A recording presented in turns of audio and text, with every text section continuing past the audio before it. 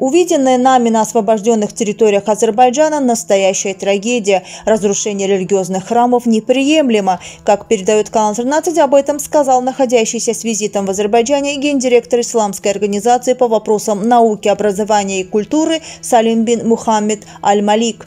Посетив освобожденные земли, мы увидели, что все села, поселки, исторические и религиозные памятники разрушены. Разрушение, осквернение мечетей и религиозных храмов, вандализм в отношении них недопустимы. Уверен, что все разрушенные на этих территориях религиозные и культурные памятники будут восстановлены. Разумеется, религиозные убеждения людей не должны подвергаться дискриминации, а храмы каждой религии должны уважаться не только на уровне государства и региона, но и на глобальном уровне, сказал генсек Исеска.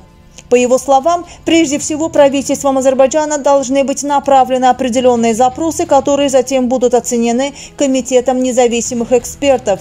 Включение памятников культурного наследия Азербайджана в список всемирного исламского наследия также означает, что эти культурные объекты и религиозные памятники будут охраняться ИСЕСКО. Наша главная цель – защита культурных и религиозных памятников. При этом мы хотим подчеркнуть, что мы охраняем религиозные памятники всех религий, отметил Салим бин Мухаммед Аль-Малик.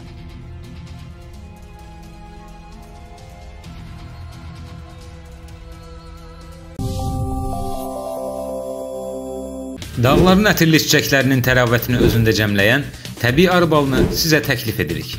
Təbiətin insanlara bəxş etdiyi bu möcüzəvi məhsulu əldə etmək üçün ekranda gördüyünüz nömrə ilə əlaqə saxlamağınız kifayətdir.